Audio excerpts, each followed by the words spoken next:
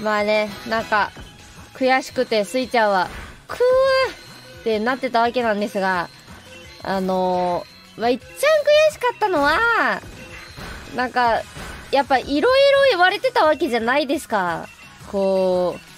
う、お前やめろよ、そんな参加すんなっていう人とか、なんかまあ、スイちゃんだったら、なんかそれは、よ、寄り道じゃね？みたいな。いや、やんない方がスイちゃんのためだと思うけどな、みたいなっていう、なんかパパみたいな人がいっぱいいて、なんか、あの、スイちゃんは、スイちゃんは今歌をやるべきだよねなら、これは必要ないよねみたいな。っていう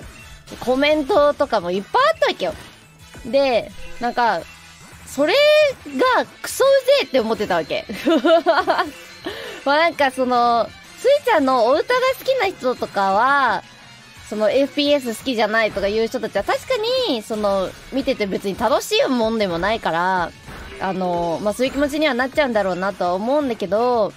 あのやべえ、形が。思うんだけど、あの、でもそう言ってる人たちを見返してやりたいっていう気持ちももちろんあったわけ。なんだけど、うー、いやー、悔しいなー、クソ負けたーって、なんかそういう奴らにもクソ負けたーって思った。くーってなったね。もうなんか、うーん、純粋にオーディション落ちた時みたいな感覚。あー、ダメだったかみたいな。あー、また、わー、認めてもらえへんかったみたいな感じだった。っていうのと、まあ、そんなんは気に、そういうここととかは全然気にせず、え、出るの？超嬉しいっていう人もたくさんいて、で、あの、ホロドリームチームガチ熱すぎでしょ、それは。マジで応援しますっていう人も、もちろんたくさんいたわけ。で、なんか、そういう人たちに、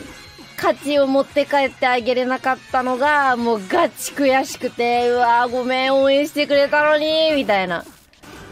あ、やばい。よいしょ。もうガチすいませんって感じだったんだよね。